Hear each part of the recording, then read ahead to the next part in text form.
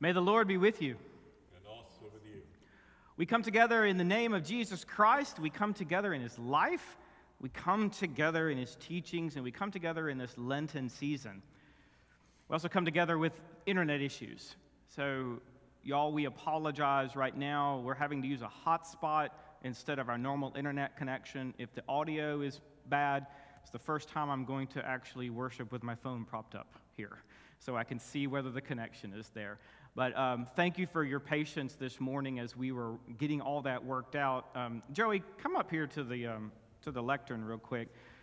I want to make an announcement. We, um, this last week of being snowed in, iced in, sleeted in, whatever it was that occurred, um, has really just shown to me that it's time for us to use every opportunity we can to create new opportunities for us to get together. And this is what I'd like to, to do, calling an audible right now, church, is starting tonight. We were going to plan on meeting outside or in the CAC, but I think it's time for us to come back into our sanctuary instead.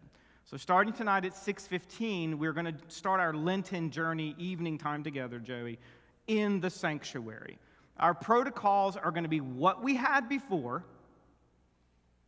Please have a mask. Please sit as distant as you can. Please try to avoid hugging and squeezing on each other. But come. Come tonight at 6:15. All entrances will be open, all parking will be open. Come in and let's begin this Lenten journey together.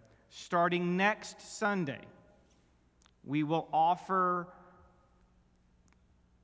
coming together here in the sanctuary, again, as another option. Still limited in our protocols, um, but it's time for us, church, to get this option back on the table of coming back together. Um, Joey, when it comes to how we worship and how we gather and things like that, um, do you believe that this is an appropriate thing for us to do, and do you believe that we can do it safely? I do. I, I fully believe that we are ready Okay. to come back together, and we are ready to come back together in respect of each other, but in desperation to see each other, mm-hmm. and in desperation to be in God's house together to worship. Uh, and I think that the Lenten journey is the time to do so. Mm-hmm. We point our faces to Jerusalem with Jesus. We know that there may be obstacles in our way. We may have questions. We may wonder what's in store. Mm-hmm. But we walk in faith Okay. and we trust in Christ. And I think we do that not just in our spiritual and emotional journey, but in our physical journey as well. Okay. Let us come back together. I think that um, my last word with that, Joey, again, is the, the scriptures call us to do everything in consideration of the needs of others.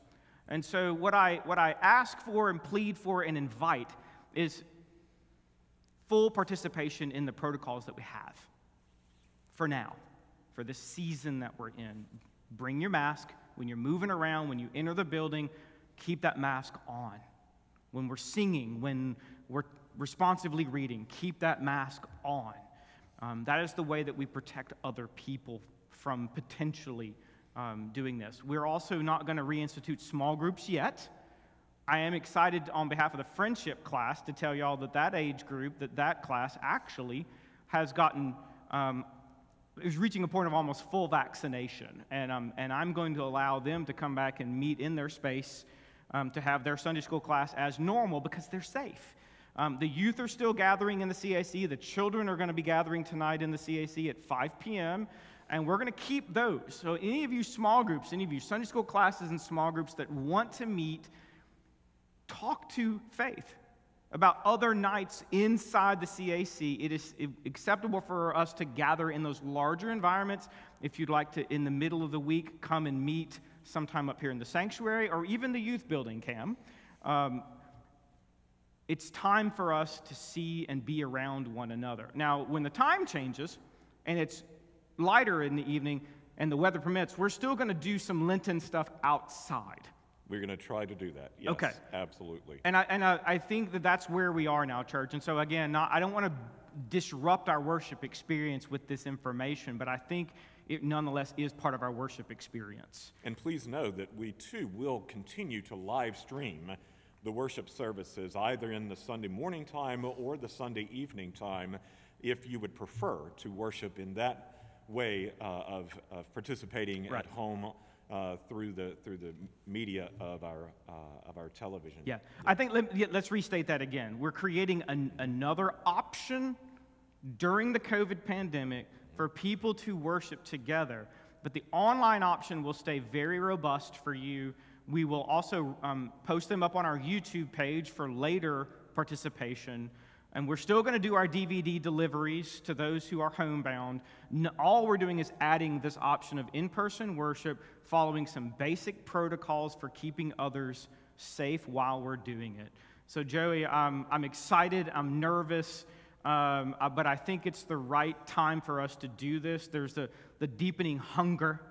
Um, and I think for me, it was sliding and slipping around in my own yard when I realized that we're at that point, I think, church, that we can either slide down scared to death or we can slide down with laughter and joy. And, I, and I'm, I'm inviting us now to come into that space, to come back into the space tonight at 615, next Sunday to gather again here at 1030. Um, try to arrive a little early again, um, like we're doing it. But, church, I guess I'll just stop there to say I'm excited, I'm nervous, um, I'm pleased to make this announcement. We'll send out in other information throughout the week. But for those of you who can call other people, let them know. I know that not everyone is going to see this immediately. Let them know that tonight at 6:15 we will gather here. Next Sunday and following Sundays we will gather in here in the morning at 10:30.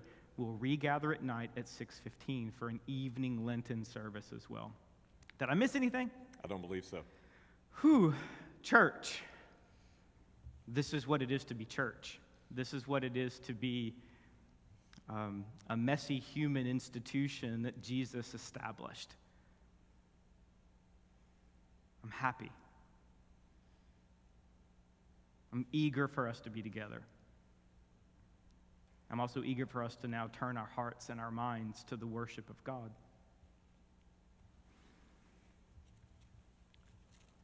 The season of Lent is here again.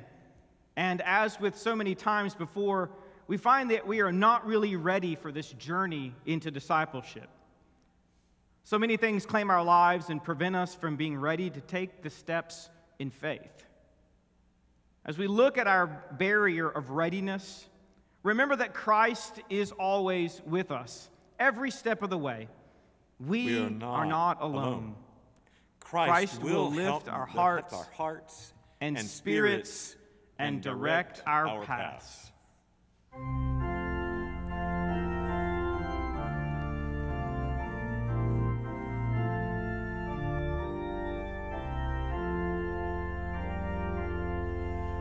Lord,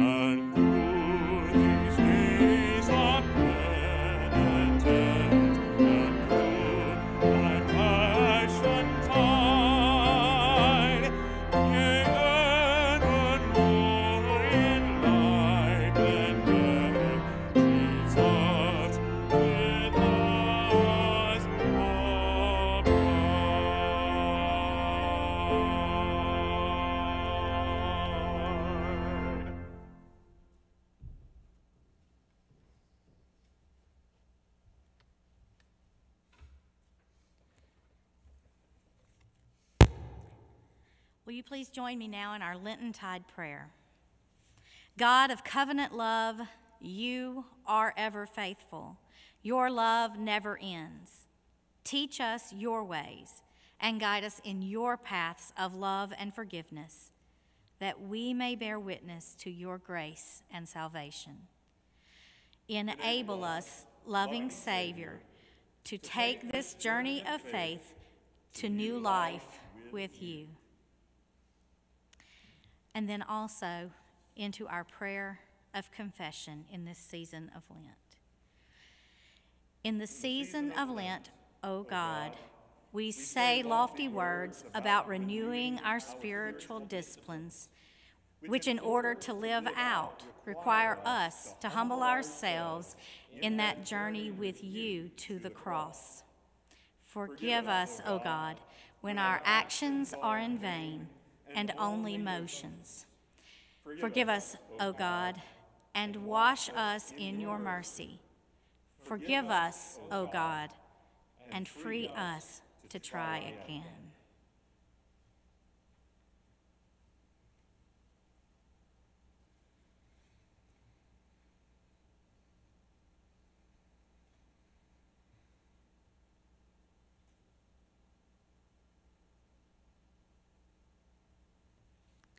Amen.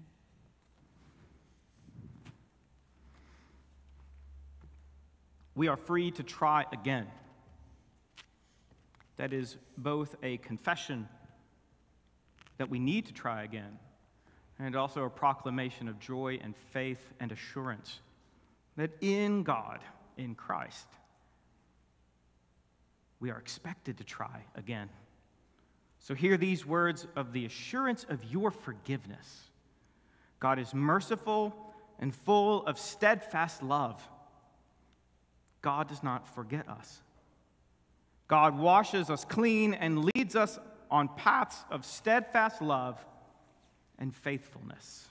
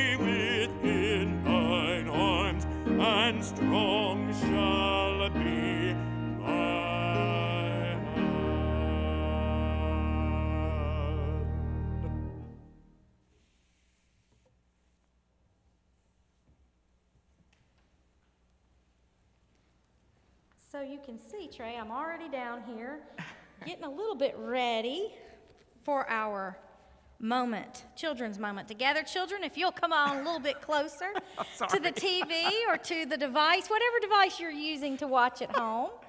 Oh, I'm sorry. And see, now I told Trey before the service that today's children's moment, I wouldn't have him do anything crazy. He was just, you know, if he'd just come down here with me and we'd converse, all fine. But he's laughing at me and what I have on. I don't know about that, but I think it works. We'll see if it works here in just a minute. well, I guess it's, I've never seen a red chef's hat. I guess I'm sorry. I did too well, now, last Sunday was Valentine's Day. Okay. The red, Okay. the love. Okay. I'll, I'll, I'll, Okay. I'll allow it. All right, thank you. I appreciate that. so let's just talk for just a few minutes. I know last week we talked about transfiguration, and we had talked about transfiguration in the children's Zoom as well.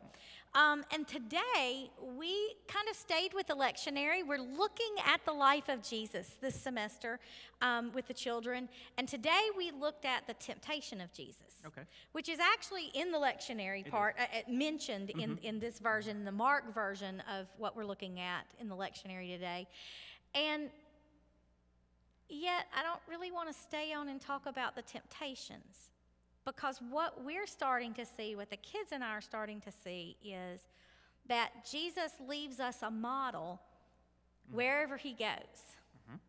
Now, he didn't wear a red chef's hat, I'm pretty sure. This is not, he's not modeling. Not that one. Not runway modeling like that, no. but we looked at the transfiguration last week. We're looking at him showing us who he truly is. Mm-hmm. And then that puts a whole new light pun, you see, yeah, what I did there, on, um, on looking at everything we see Jesus do. Now that the disciples know who he truly is, even if they don't fully understand it yet, the fact that he is divine and human means that everything we see him do shows us something else in how we should do. Right. And so, taking that idea, last week, the children, we were supposed to have met on Valentine's night. Yes. We were supposed to have done some um, cooking and some decorating, some cookie decorating. We have people in our congregation who are anxious to share their talents with our kids and teach them something that they can use in a way that they can model love Yep. for someone else. And so it was postponed because the weather was so iffy and we just didn't want people to feel unsafe getting out last Sunday night. Little but that's did we okay. know the grand blizzard of. I know, and boy, what was to come. I think we made the right choice. But you know, it's really it really is neat to think about children how how God works. We've talked about this over and over again. He works in ways we don't understand, and He can bring good to anything. Because as I was texting, texting back and forth with Kimberly Burley, she's going to be helping that with the cookie decorating part tonight. Good. Um, I told her, you know, that I thought that we might need to postpone by one week, and I said, but here's the cool thing: it's a day of love.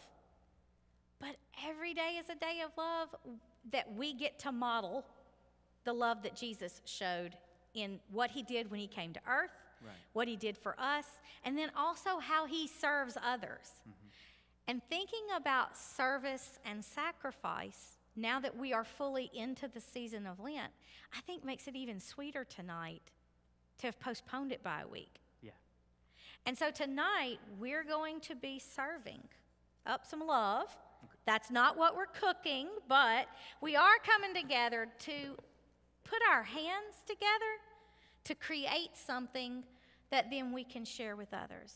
And the other thing that I would say that we're learning from watching Jesus is not only do we see him model how to handle situations like temptation, like serving other people, but it doesn't have to be some big, huge, grandiose act of service Right. to be serving and sacrificing out of love.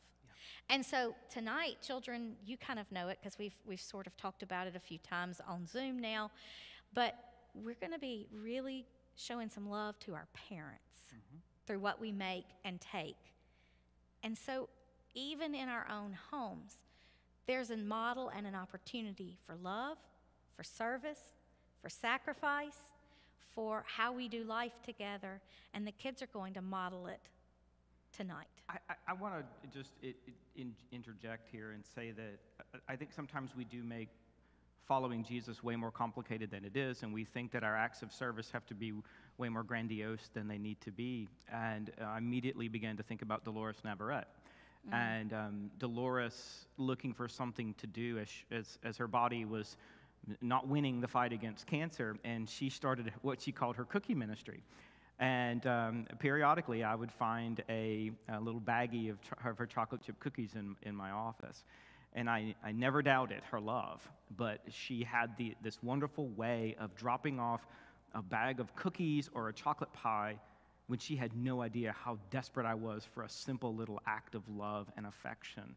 And so I think what you're doing tonight, and the fact that you've got some parents helping you, church, uh, let us never forget that the Lord can take any mundane thing, cookies, and transform them into beautiful and precious demonstrations of love Absolutely. that are transformative in people's lives.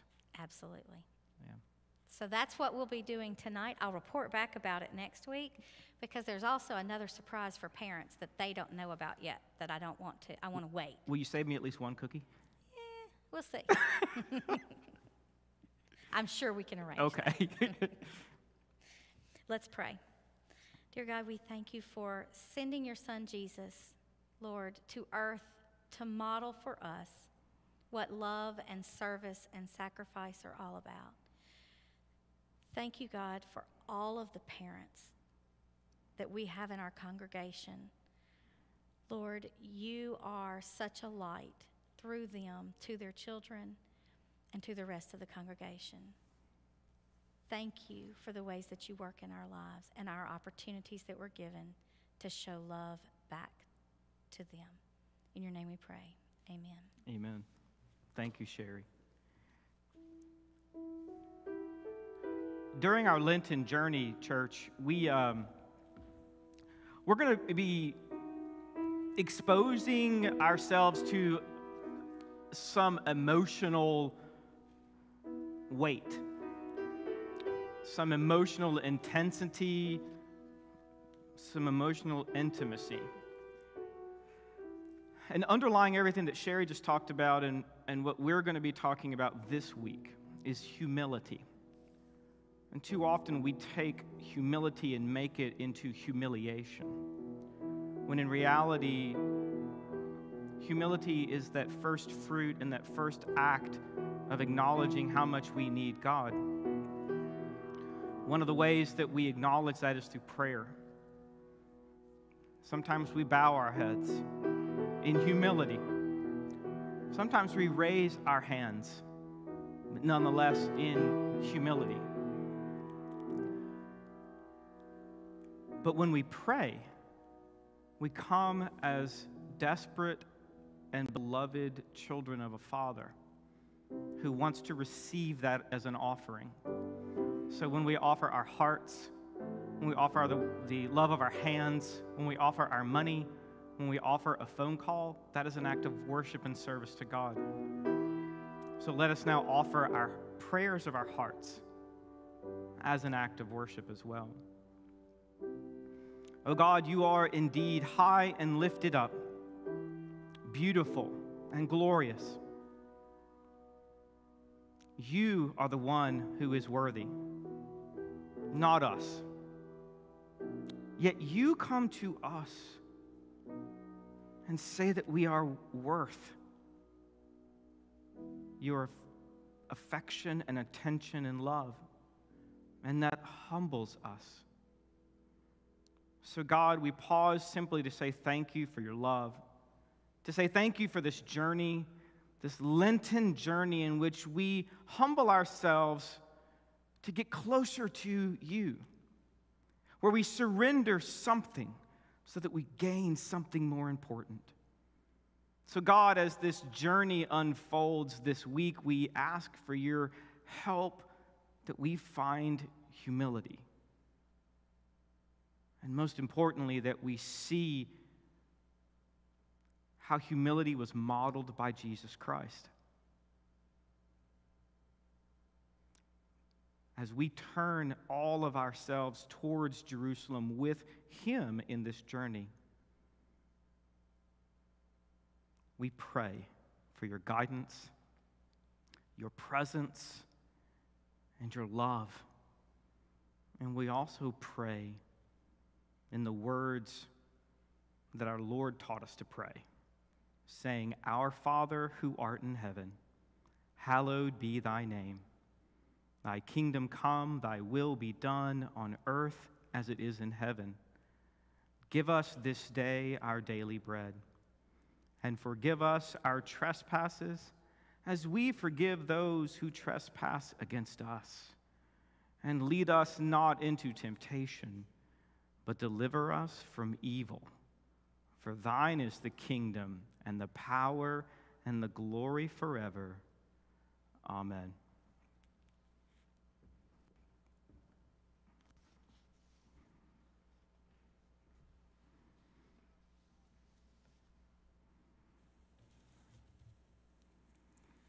This morning's gospel reading is from Mark. And for our youth and children, these passages, this passage should sound extremely familiar because um, we've taken a look at it uh, more recently. But now is a great time to go grab your Bibles um, and turn with me to Mark 1 9 through 15. The baptism of Jesus. In those days, Jesus came from Nazareth of Galilee and was baptized by John in the Jordan. And just as he was coming up out of the water, he saw the heavens torn apart and the Spirit descending like a dove on him. And a voice came from heaven You are my Son, the Beloved. With you I am well pleased. the temptation of Jesus. And the Spirit immediately drove him out into the wilderness. He was in the wilderness for 40 days, tempted by Satan, and he was with the wild beasts, and the angels waited on him. The beginning of the Galilean ministry. Now, after John was arrested, Jesus came to Galilee, proclaiming the good news of God, and saying, This time is fulfilled, and the kingdom of God has come near. Repent and believe in the good news. This is the word of God for us, the people of God. Thanks be to God. Thank you, Cam, for our gospel lesson this morning. The journey that we are on officially now is a journey of intimacy and intimacy. In the mornings of our worship time, we're going to be really focusing on Jesus' experience and understanding of this journey. It's going to be this week humility, the next week awe, then desire, embarrassment, vulnerability, and exposure. And what we're inviting you, what we are inviting ourselves into, is a journey in which we look at Jesus' experience with this, and today with humility. And we're going to look at the intimacy and the intensity of that that Jesus has with his Father in heaven. But we're also then later this evening going to come back. I guess, Joey, it's almost like a part one and a part two.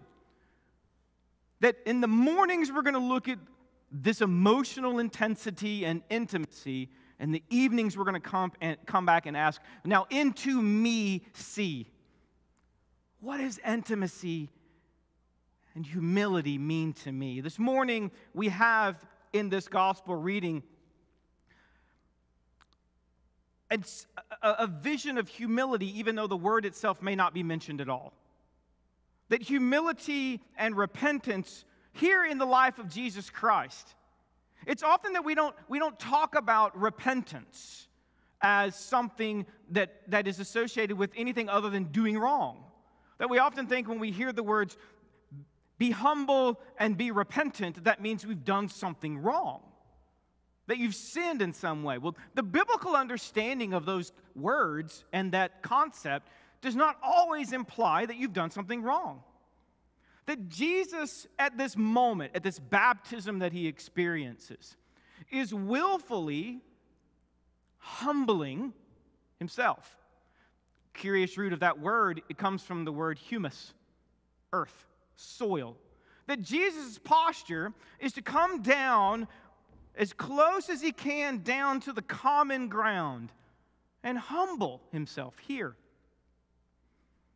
That the word repentance is a Greek understanding of changing the way you think, and we often associate that again with crying and wailing at the front. Now, it can include that, but that tends to be more of confession, agreeing something's wrong. Repentance, Joey, we talked about this, is I'm going the wrong way, but unless we turn to the right way, have we truly repented? Have we truly changed the way that we think? In this understanding in the New Testament, it's change your mind, change your heart, convert, reform. Jesus is experiencing that in his baptism. Um, y'all are absolutely right. Sherry, you talked about the Mark version tends to be real short. Cam, you mentioned it as well. The Matthew um, storytelling of this is that remember that John didn't want to baptize Jesus. He protested. No, no, no, no, no, no. John's understanding of, the, of baptism was what? You're doing something wrong. Who taught you to flee? Who told you to flee? You brood of vipers. And then here's this humble servant coming and now saying, Sherry, I want to be baptized.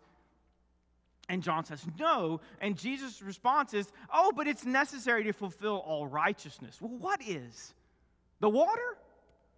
Or the act of now my focus is purely on a fundamental change in the way that I think and in the way that I act, and to be humbled in that.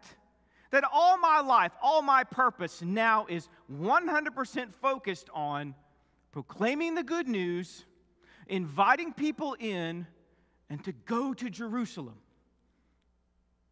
Knowing the path, knowing what's going to happen to him there, that requires humility and repentance. A change of your whole life and a change a way, the fundamental way that you think about yourself and what God is doing in our lives. So, Jesus' humility and repentance are actually signs of his righteousness.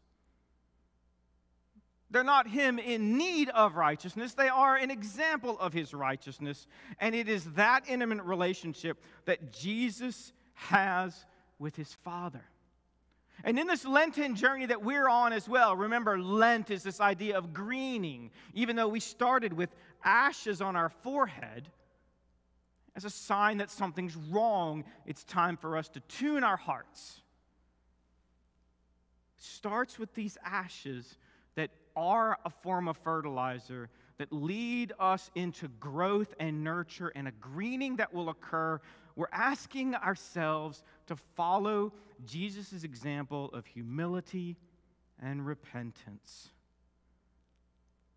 At his baptism, Jesus turned his thinking and his living towards God's final act of redemption and reconciliation and restoration. Jesus did this for us, so we join him in this when he went out and was tempted. We know the longer version. What was he tempted to be? He was tempted to be anything other than humble and repentant. He was tempted to be the Messiah that the world wanted, the powerful, strong man, giving food and physical sustenance only, making everyone's bellies happy the grandeur and the signs of jumping off and skydiving down into the temple. Jesus remained 100% repentant to what God had called him to be. And this is the humility and this is the repentance that he showed in his calling.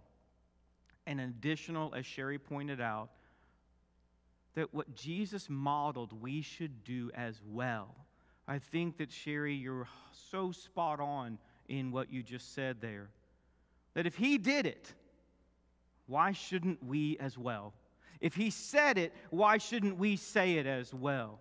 If he was around certain people, why shouldn't we be around them as well? This requires humility. It requires a heart that is changed fully changed into what God is wanting in the world. And again, what is God wanting in the world? Reconciliation, redemption, repentance, forgiveness, and love. Church, our invitation this morning is to hold on to something so that when we come back tonight, we can continue this. But I invite us to follow the example of Jesus and turn away ourselves from sin and evil. But don't just stop there. Don't remain incomplete. To turn towards the one, to turn towards fully, as Jesus did, to the good news of what God is doing in the world. That God didn't leave us in this place, but God in Christ reconciled the world to himself, didn't hold our sins against us forgave us and welcomed us into the ministry of reconciliation. So, our first step and the first fruit of our life with Jesus is humility. Humility. Down on the ground, not grandiose, not about power and control, not about crazy signs and wonders, but to go down where He is to walk with Him. Our response is to do exactly what He did and what He said. our response is to change and entrust ourselves to this good news that God is doing. Notice that after John was arrested, Jesus steps up, goes to Galilee proclaiming this good news of God, saying, The time is full, it's ripe. The kingdom of God has finally come near. So it's time to repent, to change the way you think, the way you act, the way you're focused. And it's time to believe in this good news. It's time to change and entrust yourself into the hands of one who can do this. But this requires an intense intimacy with humility. And that is our journey. That is where we are. And that is where we are going. Anytime we hear the word of God proclaimed, we can respond. Anytime we are called to respond, we can simply choose to change and entrust. So, church, I invite you to join with me and the rest of us on our journey to Jerusalem to say, I'm going to follow Jesus. I've heard his call to repent and believe, to change and entrust. You can do that anytime. Anytime. Do it now. Call me, call one of the staff. Let's go on this journey together. But for now, let's sing our response until we come back together this evening.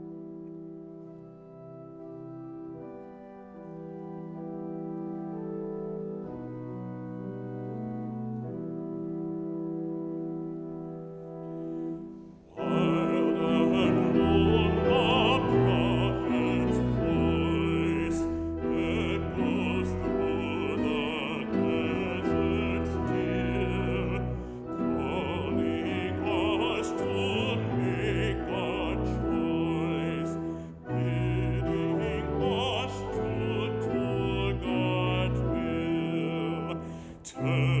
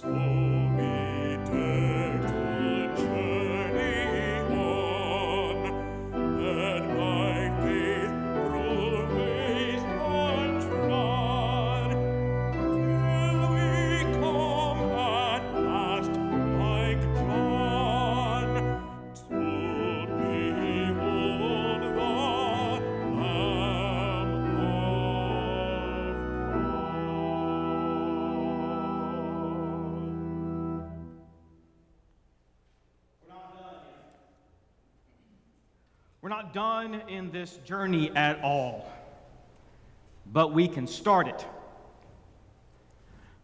We've heard how Jesus' intense intimacy started with humility, and yet how that humility kept his head up. That humility didn't bow him down. There's a difference between being humble and being humiliated. You cannot be humiliated if you're truly humble with God. So our journey continues, though. How are we going to embrace this into me see, O Father in heaven?